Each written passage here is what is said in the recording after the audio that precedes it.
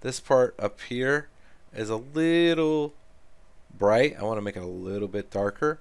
And again, this is something that you could have done. This is a technique that you could have done for the top of the box and the bottom of the box to help color do the color correction instead of doing that Photoshop technique with the world space normal. You could have gone in here and just gone in here and used a color correction uh, node to come in here and color correct this. So how I'm going to do that is I'm going to go back to my base color. I'm going to duplicate that layer once more where is it? Duplicate layer. And then I'm just going to call it CC for color correct. And then I'm going to select the texture itself, right click, and I'm going to say add filter at the bottom of this menu. And then I'm going to go to filter right here, click it again, and I'm going to pick, I know this is kind of going off screen here, so I might have to move this over. So if I pick filter, color correct.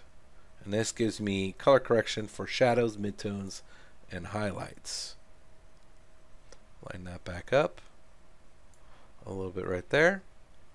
And if I play with it, you can see it does the whole texture.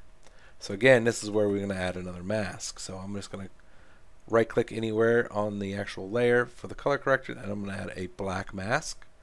And then with a white brush I'm just going to use the bracket keys to change the size.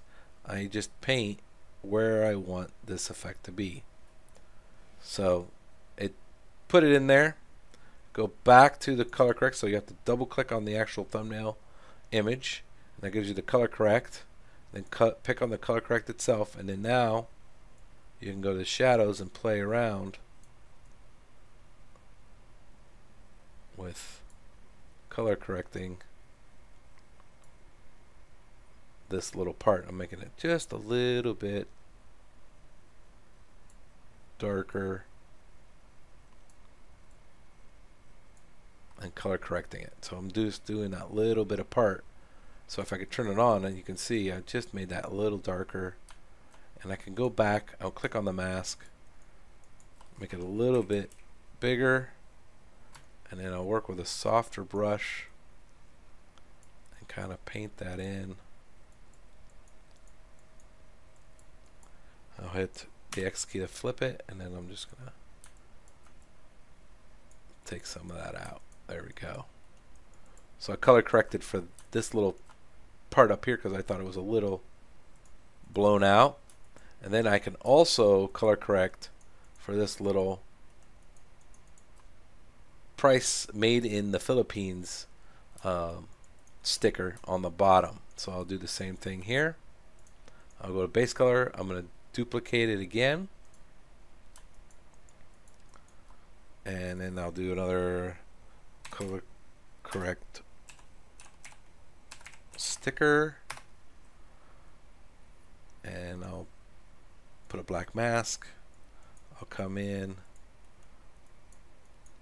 and I'll use a white brush and I'll you know what I'll do is I'll make it a little bit bigger here. And then I'll make it a harder edge brush right there. And I'll make it a little bit almost size and drop it once on there. And now I'm going to go click on it double click on the image and right click add filter and color correct. And let's play with the midtones let's play with the highlights. Yeah there we go. Highlight will brighten that up just a bit. A little bit of saturation. Let's do the midtones. Make that a little bit brighter and let's play with the contrast there we are and that just made that sticker on the bottom pop out a little more. So again, you can use that technique to do other parts of the model. It's really handy to use. Just turning the light around just to make sure it looks all good. Alright, now I've gone in there and I've made my maps and I've done uh, any corrections I want to do. I've added metal to it. Now ready to export it out. So let's do that.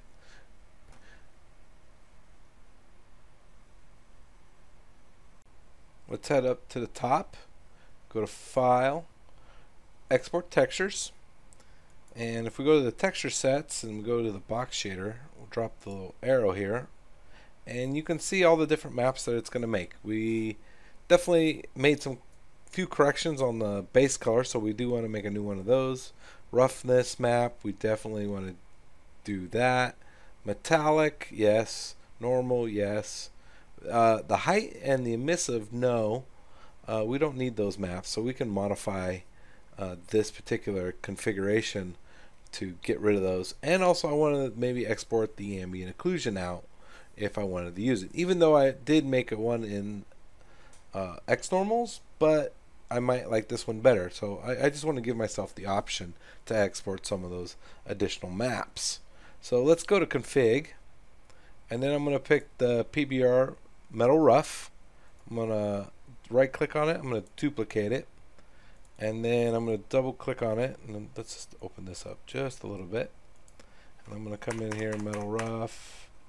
And let's just do AO to it. So I'm going and just adding AO to that name. And in here, I'm just going to get rid of the height. So there's a little X and the emissive. And there we go. We got those maps. And now if I want to add some maps to go out, all I got to do is come up here to create. I want to do an RGB.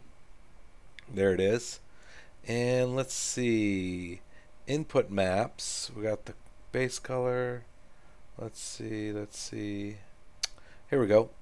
Mesh maps. We want to export those. So this ambient occlusion. I'm going to click on it. If I click hold and drag until I put it right where it says RGB. See how it changes from do not enter sign to a plus sign and now you're going to say okay enter it in as a gray channel there it goes so it puts it in and then I'm going to copy this name of the texture put it down here. So I'm going to just copy and paste and I'm going to change that normal to AO and that's how I go in there and make a AO map from that. So it's pretty easy uh, to make if you want to do one for a curvature map or whatever. You can export the maps by grabbing it from the mesh maps and making a new channel and dropping it in and renaming it. Pretty easy. Alright, so now I've configured this. I'm going to go back to export.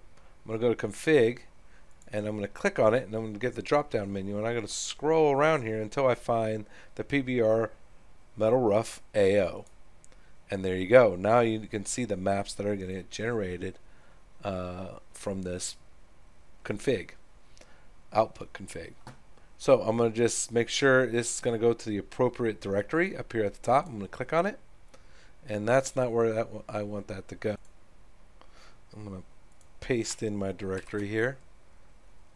Hit enter. There we go. I'll say select that folder. And then I want it to be a ping, 8 bits per channel. That's fine and I'll hit export. And now I'll open up that folder.